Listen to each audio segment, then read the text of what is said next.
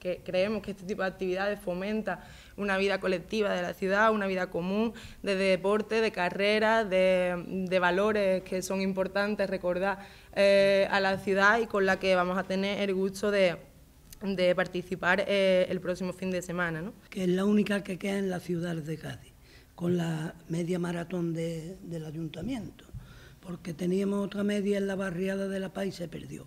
Teníamos la de San Juan y también se perdió.